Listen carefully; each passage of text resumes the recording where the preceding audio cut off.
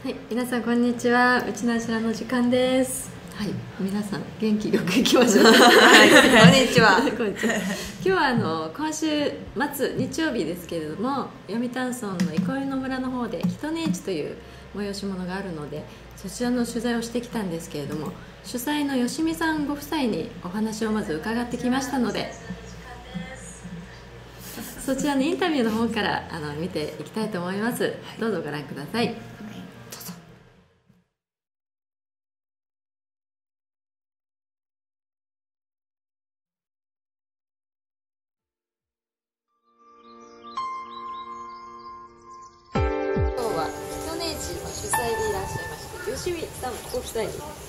いらしていただきました。ありがとうございます。こんにちは。こんにちはあのいろいろお聞きしたいんですけどまあやっぱり人ね市を一番最初に始めたこの動機といいますかなぜみたいなそういうとこからお聞きしていいですか？えっ、とですね、北根市はね、5年ぐらい前に、その私がちょうど2人目の子を出産する前かな、前後ぐらいに始めたんですけど、最初はあのこの近くにあのフリースクールをやってる読谷自然学校っていうところの場所を借りて、あの友達同士で声かけて20店舗ぐらいで始めたんですよ。はいそれであのその前からこういろいろなんか子育てしながら思ってることがあって、なんかこう、まあ、自分たちの生活してるあの世の中みたいなものに対してなんかあのもっともっとその心地いい暮らしができるんじゃないかっていうところからのスタートだったんですよ結構なんか気持ち的にはネガティブで。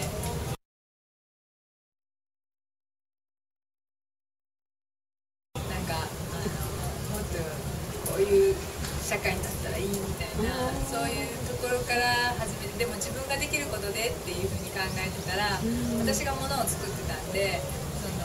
直接その人たちと触れ合って触れる場所みたいなのを作れば作れたらいいなっていうので最初友達に声かけて始めたのがきっかけ。です。そうなんです。ねあのなんか人ね市さんはちょっとあのなんていうのかな。結構こだわりのあるお店がすごく多いような気がするんですけど。ああそうですかね、なんかがね、なんかあのいろんな市場があると思うんですけど、あの一応あの私たちの市場はそのまあフリーマーケットではないので不用品はあの売れませんっていうのと、あとあの自分たちの世界をあの小さくてもいいから見せてほしいっていうのがあるん。で。その共同出店みたいなのをお断りしてるんですよ、だからそのその人の世界がダイレクトにお客さんに見せれるようにっていうことがあるんでそのその人の世界が見えやすいからじゃないでしょうかね。でそれぞれ個々が集まって別にあの手作り物でも実はその既製品でもセレクトショップでもその人の世界観が見えれば、はい。あの出店していただいて構わないって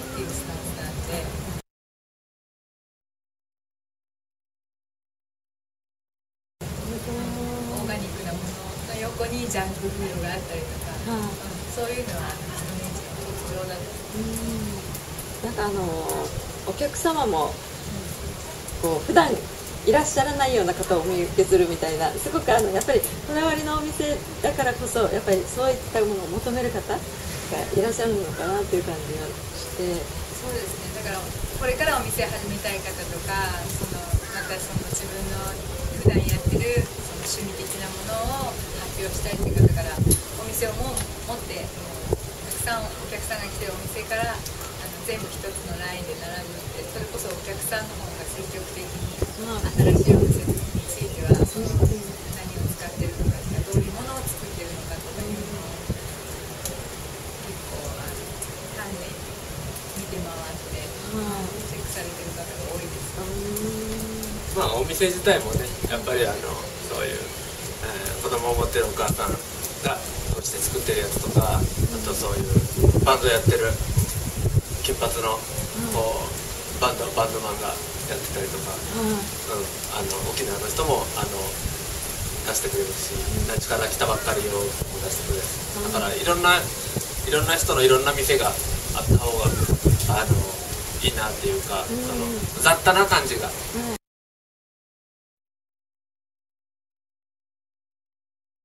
こういう感じのお店だけあまとめるっていうのがあんまり好きじゃないので、いろいろいてくれて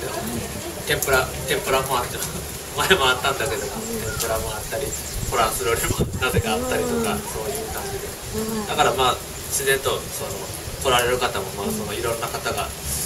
いるような感じに見えるのかもしれない。ですね面白そうってえ 一口で言うとそんな面感じですよ、ね。本当でまたあの音楽の何かイベントとかそうですねだからまあ一応あの本当のタイトルは市場と音楽きとね市なんですけど、はい。あの市場がメインなんですけどねあのあくまででも音楽ってい。うのも必ずあの自分たちの中であのまだそんなにメジャーじゃないでもすごいいい音楽をやってる県内の人たちに、あのちゃんとメジャーではないっていう言い方あるねでも本当にすごいいい音楽をやってるなって自分たちが思う人をそのピックアップして、あの演奏してもらってうんまあね、呼びたい方いっぱいいるんですけど、はい。まああの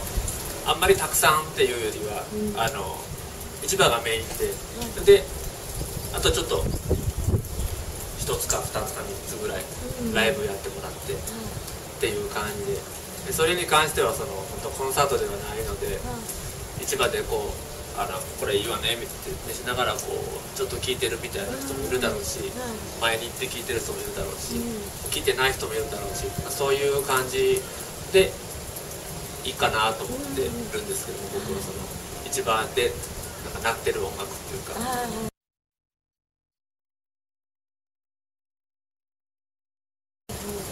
イブハウスとかだったらやっぱりその人が好きではい。お金払って見に行きますよね、でもあの市場だったらもしかしたらその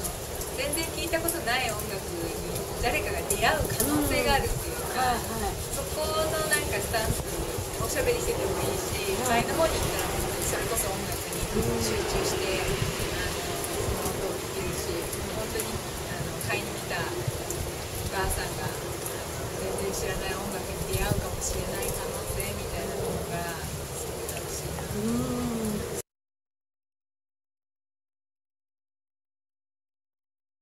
なその辺もだからさっきのあのお店の雑多さと似て、そうですよね。そうそうそう。なんかこうそうれこそ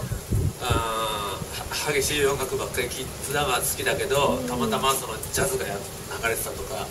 い。ねいろいろそういうのもあると思うんで。い。いはいかなと思ってるんですけど。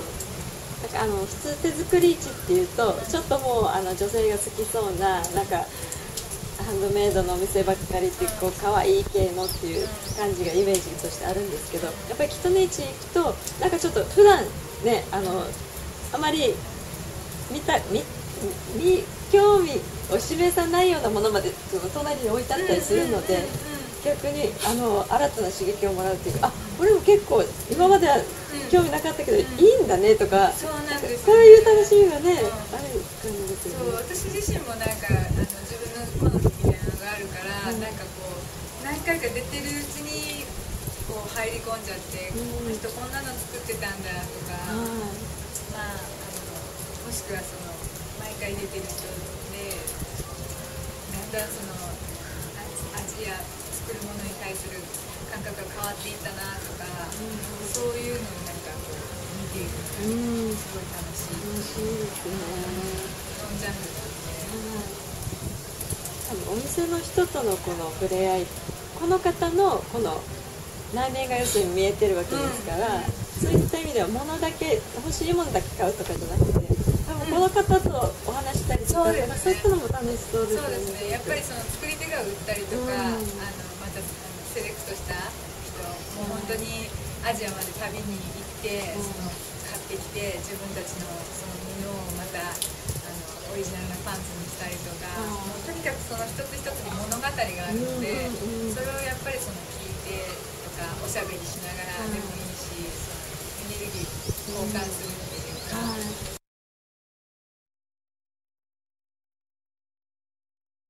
そういうのが結構楽しくてみんなも来てるんじゃないかなって思う。うんそれねあのそういうまああのそれを喋らなくてもまあその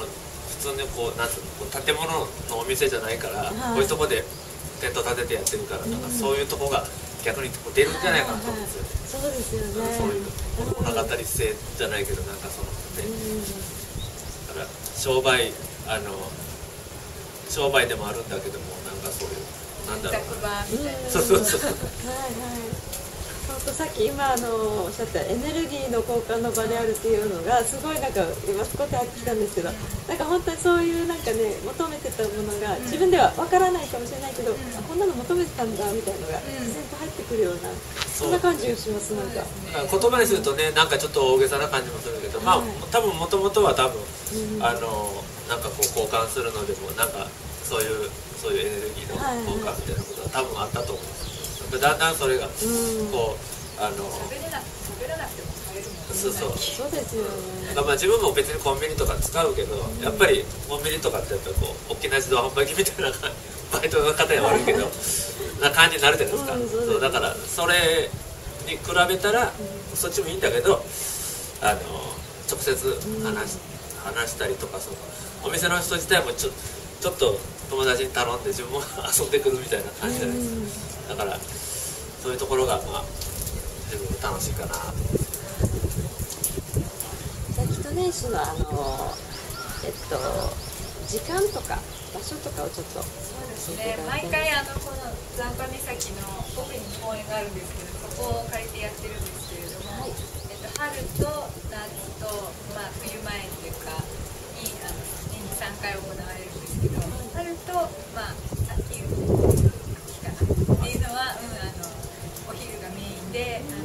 の日暮れ杉町みたいな感じなんですけど夏は暑いんで夜市なんですよ。あそうなんですか、だから、まあ、いいですねそれまた。夏は結構ね酔っ払い系の酔いの会次の日起きたらこんなの買ってたみたいなのを楽しんでもらう。うーん。こんな感じであの季節ごとにその趣向を変えて、やらせてもらあってます今度はこの4月29日ですけれども、うん。何時から何時までという今回はあの12時から8時までの,、あの昼をメインの時間にして、あのこちらに残波するんでやらせてもらいます。毎回場所はこちらになる？そうですね、もう基本的にはこここを借りて、はいあの読谷村でやらせてもらってあの奥の林の方ということですそうですね、なんかあの、まあ、こっちもあの広場的にはいいんですけど、やっぱりなんかあの木の下で、その木陰で、もうそういう自然のものでもうあのみんな雨風しのぎながらあのシンプルにやるっていう形がやっぱりなんか自分たちのやりたいビジョンにすごい近い。言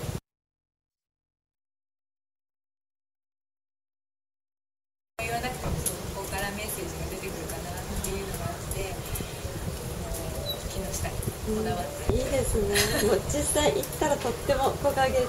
気持ちいいですから。そうですね。もう夏なんかも特に、うんうん、やっぱり涼しさが全然違うんでやっぱりアスファルトの上とかじゃない場所で、その人とエネルギーを交換するっていう感じしたいですね。4月29日ですね、はい。皆さんぜひお越しになってください、はい。遊びに来てください、はい。よろしくお願いしますすありがとうございました。